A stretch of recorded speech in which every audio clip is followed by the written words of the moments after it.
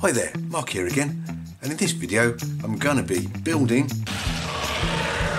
reviewing and hopefully testing out this Drift Cobra racing car from U-Gears Mechanical Models. So it's a wooden kit, and let's have a look at the back. U-Gears say the intended use is a model for collectors. Um, it's a 14, 1 14th scale and it's recommended for ages 14 and above. As you can see, there's lots of parts that move, the bonnet lifts up, the doors, the boot, and you've got this coil spring here, which hopefully when we've finished it, we'll be able to wind up and it's supposed to be able to drift. So, let's have a look at what we get in the box. Okay, so as you can see, all the parts are laser cut out of sheets of thin plywood. And uh, yeah, there are plenty of parts in this box. So under the plywood, we've got our instruction manual, another very, very thin piece of plywood. I think these parts must be um, curved or bent when you build it. And then underneath we've got the spring, we've got some cocktail sticks uh, for the assembly, we've got rubber bands, that I think those uh, return the switches and the doors when they're open. You've got a little piece of sandpaper, or abrasive paper I should say. You've got candle wax, which is for lubricating the moving parts and more rubber bands. So let's have a quick look at the manual. Okay then. The main thing to note are these icons down the side. So this shows you need to put wax on, that one shows you need to rub down with sandpaper, caution, this one uh, tells you the parts should move freely, uh, push together, don't push together, again the parts should be easily moved or rotated and that knife shows you to cut off. So on each page you've got the parts sheet that you need and the parts are kind of in darker shading uh, the parts that you need to push out for the steps on this page.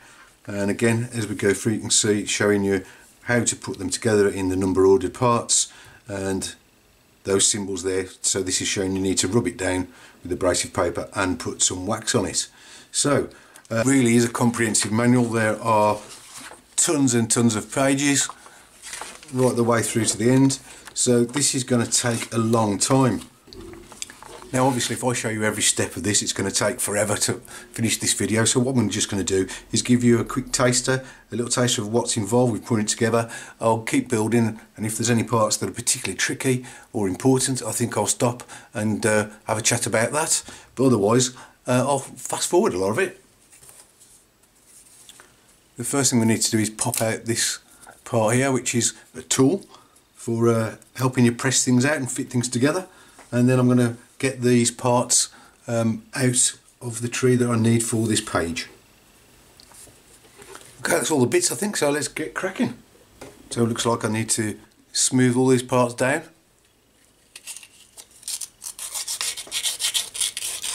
And then just apply some wax onto the parts that it specifies.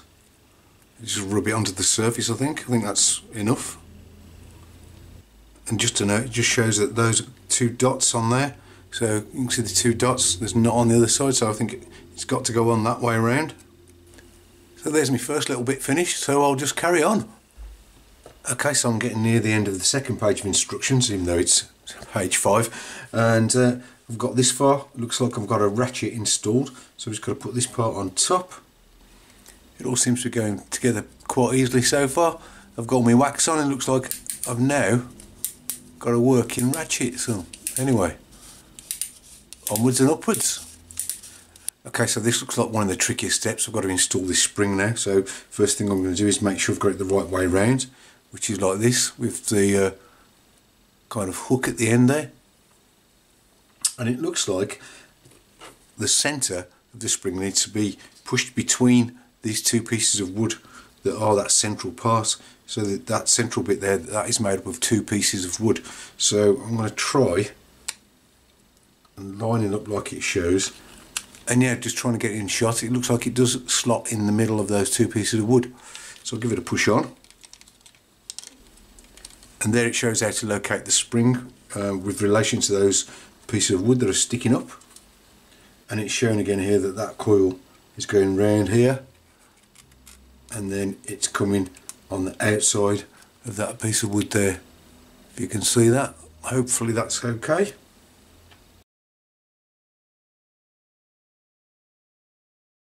everything lined up okay apart from this one I've just had to move it with the file. Yep, that looks like a good press it's going together. And then it says turn it over 180 and wind it up until the spring stops on that piece of wood there. Let's have a go. And just keep turning and turning. It is really tight until that spring it will eventually look it's gonna go and it's going to sit over that piece of wood there where you can see the spring symbol on the piece of wood. So yeah that's uh, quite tight to do up I've got to say. I've just finished page 8 which was putting the block together. I think this is going to be the switch that's going to uh, start it off. And uh, that's all moving quite smoothly and this is the kind of motor assembly with the spring in it that I was working on earlier and just make sure that it all moves smoothly. You see all the gears are meshing up. It's all turning round. So uh, onto page 9 first thing to do is attach that motor block onto that top plate. And then just a little tip for this part here which is 38 it's a really small round kind of disc. Uh, get your tool and just push it on there and that holds it nice and securely.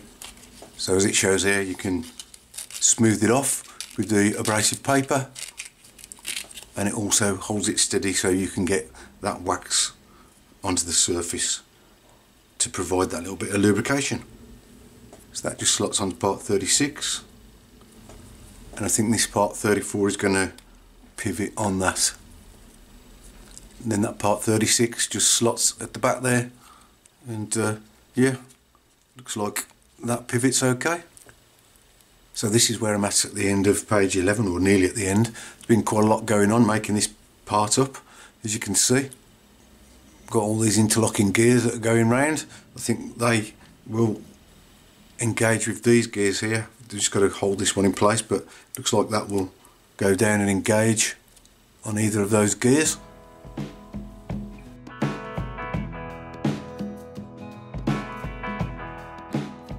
that's part 58 smoothed and waxed up so that looks like that's got to go on here. So it's just 59 goes on here. Held in place with part number 50 and then just check that everything moves smoothly and it's on to the next page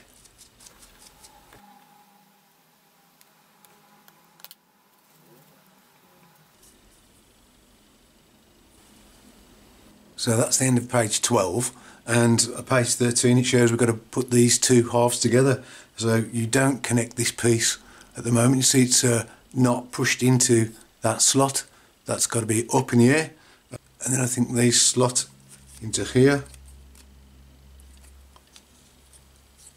And now we can put this part over that uh, circular part and push it down and into place like so. It is still a bit loose at this point though, but I think uh, that'll be sorted out later.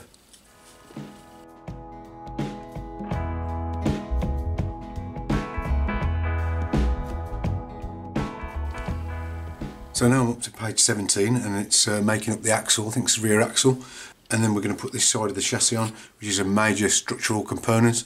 Uh, it's going to clip into so many of those parts and hold them all together in the right place. So let's just get on with that. Uh, there's the axle. It's uh, two pieces of wood uh, for the actual shaft itself and for the gear and you have to fit those together with cocktail sticks to hold them together. So it's just these round pieces now that go on like that I think. As you can see I've already put the one chassis rail on that side so we just put that axle into there. And now the tricky part we've got to line all of those lugs up and push them into the uh, cutouts in the chassis side.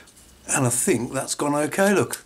But turn the axle now you see these gears are all turning round we're making progress now and I must say I'm really enjoying putting this together. It's an actual pleasure to put together I've got to say. So let's get on with the next step.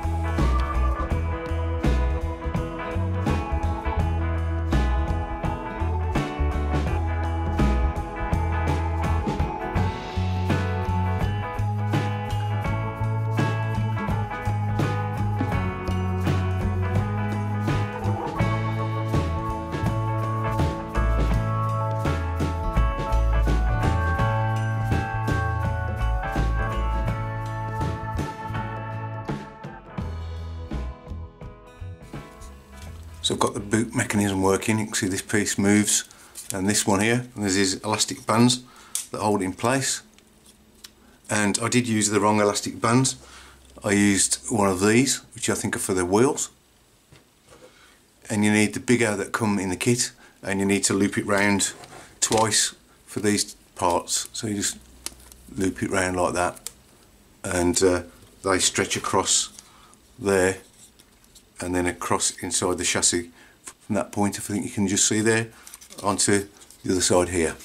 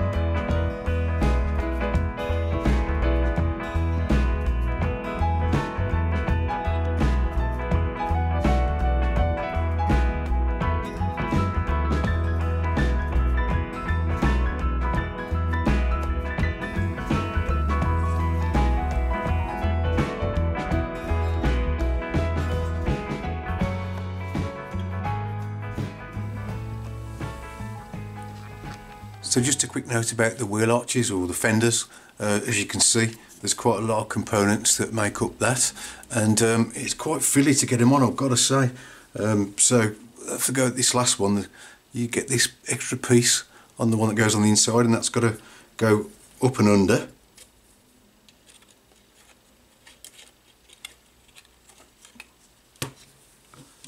And then it's got to slot into these notches here and it is really tricky to get this first one in it was the same at the back as well.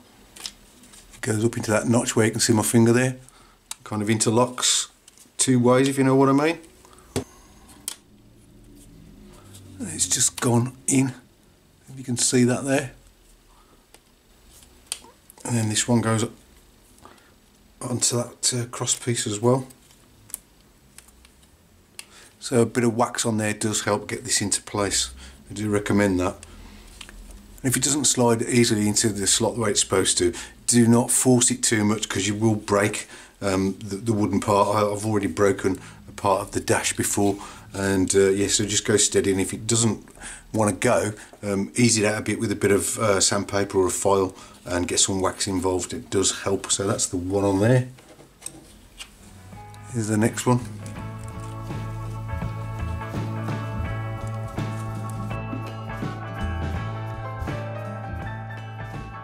Get this one located here first and then that square hole goes over the other notch that's sticking out.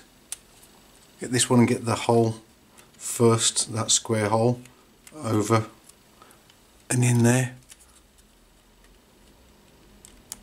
And slide that second one on. And then the last one you've got the square hole goes on there and then the last one get the front in first. Like that. And then you've got that square one. Goes on there like so. Whew, that's that one done